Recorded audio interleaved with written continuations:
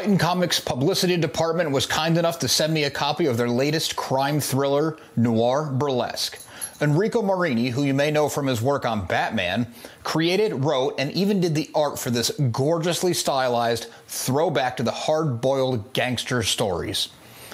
When a robbery goes wrong, Slick has to make it up to Rex, a gangster with a serious Napoleon complex.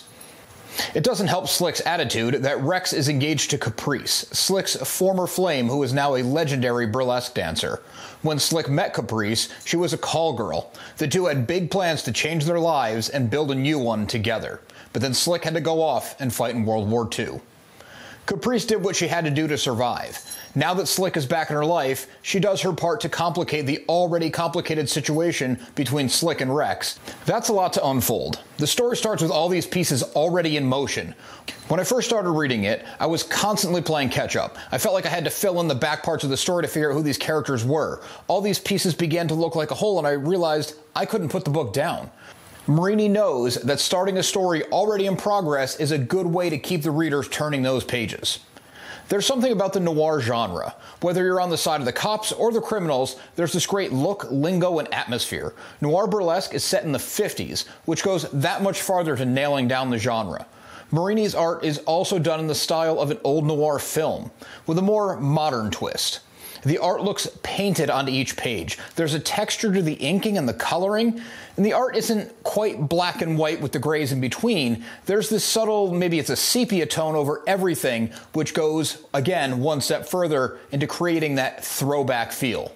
The use of space on the pages is phenomenal. Massive double spreads show the scale and scope, and the smaller panels make things feel more intimate and personal. These two opposing views are often combined to create pages you don't simply read and move on from. They force you to pause and appreciate all the subtleties in the art. Marini also adds a cherry on top of the already incredible art.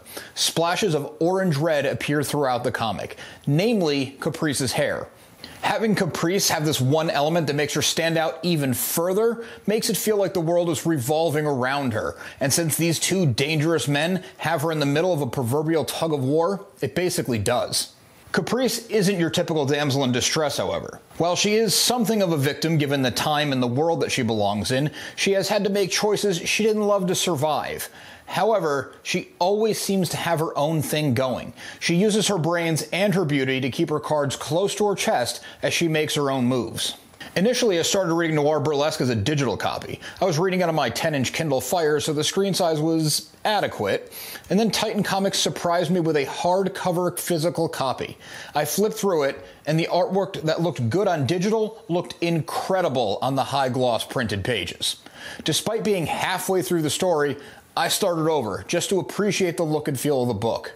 At an impressive 221 pages, I read the entire thing in a single sitting.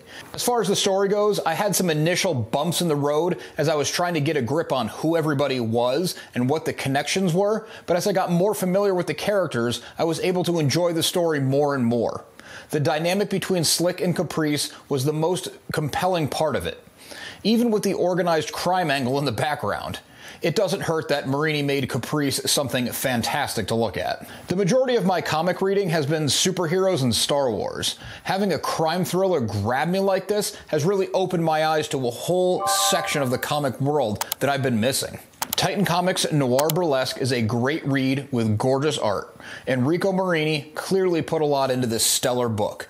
Noir Burlesque is available now wherever you get your comics. It's good on digital, but great in print. For those who've been following my videos for some time, you'll realize we're in a different location. My office is a mess right now, so I decided to do it here in my Star Wars room, which is kind of a sneak peek at a big project I have coming next year.